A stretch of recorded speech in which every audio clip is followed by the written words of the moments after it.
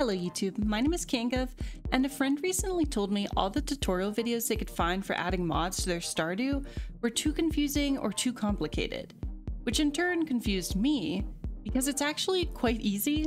So today I'm going to show you how to add mods, specifically on desktop for Windows, but a lot of the steps are very similar and you need to download the same base file for Mac, Linux, and Steam Deck.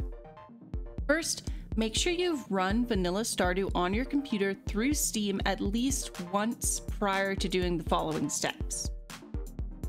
To start, you want to install the latest version of SMAPI, which I will link in the description below. You'll have to make a Nexus account to download this, but Nexus is the website we'll be using to find the mods we want anyways, so you can just do the free and easy sign up. Once SMAPI is downloaded, just extract all files. This can be extracted to any folder you want for the time being.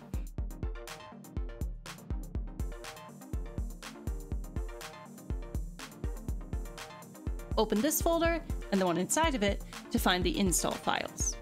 Open the appropriate one and follow the prompts.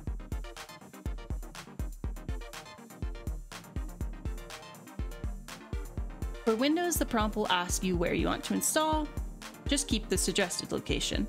And if you want to install or uninstall. Obviously in this case, we want to install. Once all of that has run,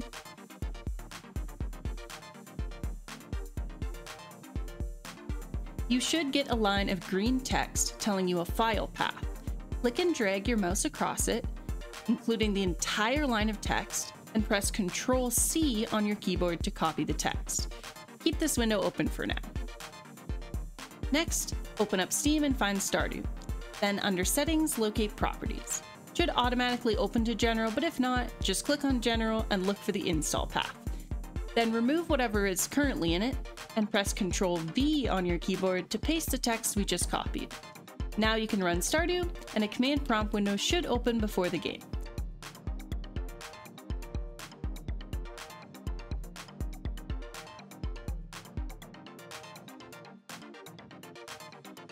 This window needs to stay open while you play the game in order for the mods to run, but if it shows up, that means everything worked, and you can now close the installer window from before.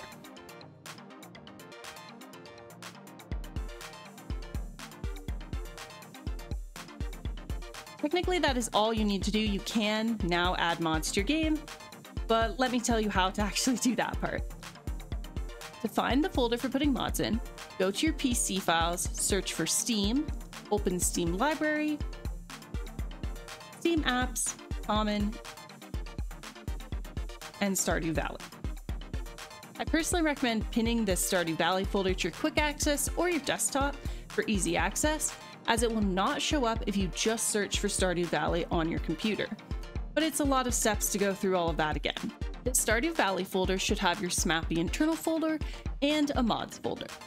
This mods folder is of course where you put the mods. You can download whichever ones you want from the Nexus website that we signed up for earlier. Something to keep in mind is that certain mods have other dependency mods. Luckily, when you do manual downloads on Nexus, it tells you if you need a dependency mod. Just download the one it says first, then the mod you wanted.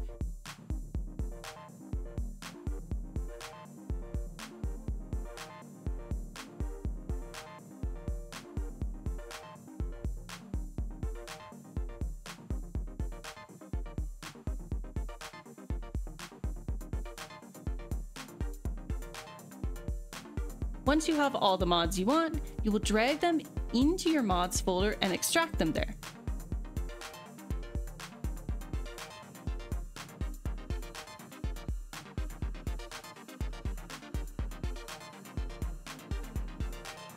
Then you can delete the zip file as you only need the extracted version to run the mod.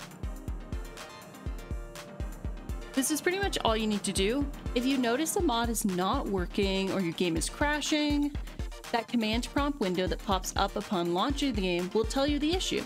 Just look for red text and it will say if your mod isn't up to date, missing a dependency, or anything else.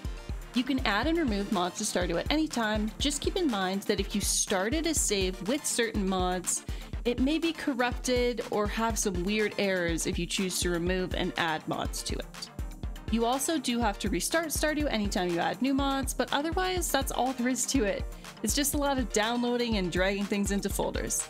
If you don't know where to start with mods, you can go watch my video suggesting some of my personal must-try Stardew Valley mods. Thank you for watching, and if you have any questions or anything in this was confusing, please leave a comment. I'll make sure to reply to all of them.